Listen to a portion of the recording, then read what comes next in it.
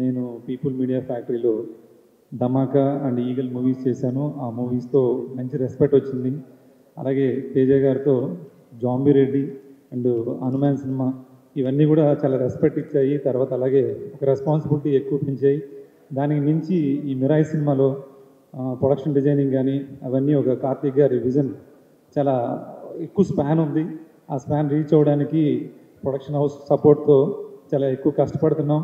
ఈ సినిమా అందరినీ చాలా ఎంటర్టైన్ చేస్తుంది చాలా గొప్ప సినిమా అవుద్దని నేను కోరుకున్నాను థ్యాంక్ యూ గుడ్ ఈవినింగ్ అండి. నా పేరు గౌరహరి అండ్ నాకు నిన్న మొన్న దాకా హనుమాన్కి బ్యాక్గ్రౌండ్ స్కోర్ చేసి జస్ట్ నిన్న మొన్న అయినట్టు ఉంది. మళ్ళీ again collaborating with superhero Teja garu is very much happy for me and thank you for introducing me to Karthik Attaneni garu. ఇది నాకు ఇంకో కొత్త డోర్ ఓపెన్ చేస్తుంది. నా థాట్ ప్రాసెస్ కానీ నమ్ముతున్నాను. థ్యాంక్ యూ సో మచ్ అండి This is a lovely movie, Andy.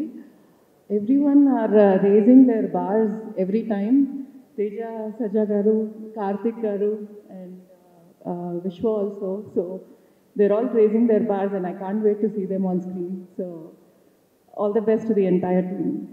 మీలానే మేమంతా కూడా వెయిట్ చేస్తున్నాం thank you so much ma'am and